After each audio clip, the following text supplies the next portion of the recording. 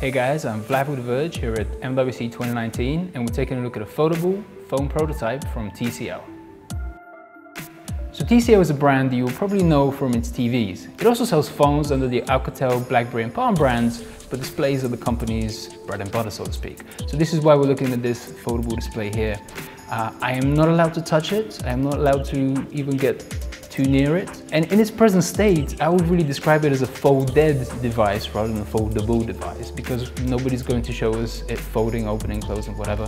One of the not obvious challenges with a foldable display is actually the hinge. There's a whole bunch of engineering that needs to go into the hinge and TCL has even branded its own design. It's called a Dragon Hinge. Uh, it has gears on the inside.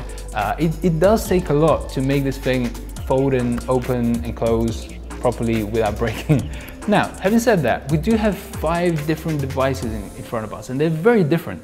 One is a 7.2 inch foldable, one is a phone that seems to fold inwards like a wallet, another is rather like a smaller Galaxy Fold which has a display on the outside as well as the foldable display on the inside. TCL says that this is headed to a 2020 retail device, hopefully. Uh, I'm not really sure how that's going to fit in under the Alcatel or BlackBerry or Palm names, but the main point here is that we have yet another contender. Now they already have Samsung with the Galaxy Fold and TCL is getting into that as well. Now with TCL, because of its brand positioning, the company wants to make things more affordable. This is why it's not doing anything in 2019. The only devices that you're going to get that affordable in 2019 are first of all going to be very compromised, such as I myself saw with the Royole FlexPai, or super expensive as you have with Samsung's Galaxy Fold. TCL doesn't want to get involved in that, it wants to do something more affordable, more mainstream, and this is why it's heading towards 2020.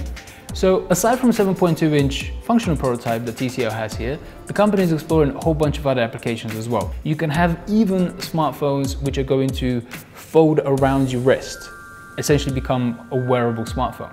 Now, these again are pure concepts. We're not seeing any working prototypes of them, but that's the variety that the company is exploring with its designs. One of my concerns with all of these foldable devices is what they're going to look like when they're folded closed. How big is the gap in the hinge going to be? And how is that going to translate into a device that you actually want to carry in your pocket? Hopefully, we'll learn more about that as MWC 2019 goes on. But this, for now, is our first look at TCL's 7.2 inch working folded, somewhat, prototype. Hey guys, I'm Fly with the Verge. it's too early in the morning. First one, first one. There we go. We're going to have plenty more videos coming out here from MWC 2019 in Barcelona. So for more foldable, folded, 5G, no 6G, sorry, things, stay tuned to TheVerge.com and YouTube.com slash TheVerge.